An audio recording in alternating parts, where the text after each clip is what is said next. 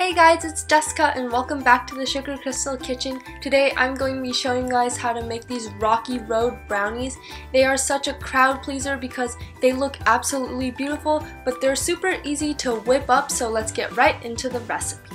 First off, you want to melt down a half cup of unsalted butter in the microwave and into that you want to whisk in one cup of granulated sugar. And next into that you want to sift in 2 thirds cup of unsweetened cocoa powder.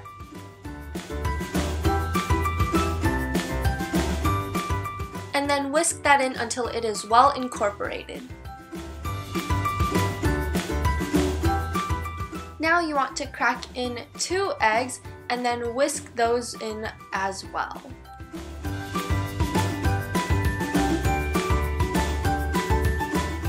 And now you also want to stir in a teaspoon of vanilla extract just to give that extra boost of flavor. After that, you just want to sift in the rest of your dry ingredients, 3 quarters of a cup of all-purpose flour, a half teaspoon of baking powder, and a pinch of salt into your chocolate mixture. Now just go ahead and fold in your flour mixture with a spatula until everything is well combined. Don't overmix it or else you will get a tough brownie and you don't want that.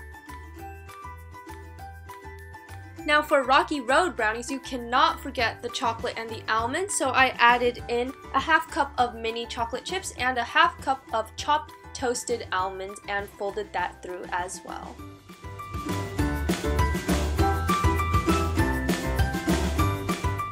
Now here I just have a parchment paper lined 9 by 9 inch baking pan and I am just placing all of my brownie batter into that and using my spatula to smooth it all out into the corners and making it nice and flat. Now once your brownie batter has been nice and flattened out inside of your baking pan like I have done here, go ahead and just pop this into a preheated oven at 325 degrees Fahrenheit and bake this off for 35 minutes. And meanwhile, we will work on the chocolate ganache topping. So here I just have 2 tablespoons of heavy cream that I popped into the microwave to heat it up and then I added in about 4 ounces of semi-sweet chocolate into that and I let that sit for about 5 minutes until I went back and stirred it with my spatula so it looks nice and glossy like this now. And immediately once your brownie comes right out of the oven, go ahead and just top that with about another half cup of toasted chopped almonds and a half cup of marshmallows. You cannot forget the marshmallows because this is Rocky Road. And then with that ganache that you set aside earlier, go ahead and just drizzle that all over your brownie and all the toppings and this ganache will just help set everything into place. Once you finish drizzling your ganache all over your brownie, go ahead and pop it into the fridge for about 15 minutes to let that ganache firm up. And after that, just take it out of the fridge and place it onto a chopping board and then you can cut them into nice square brownie pieces.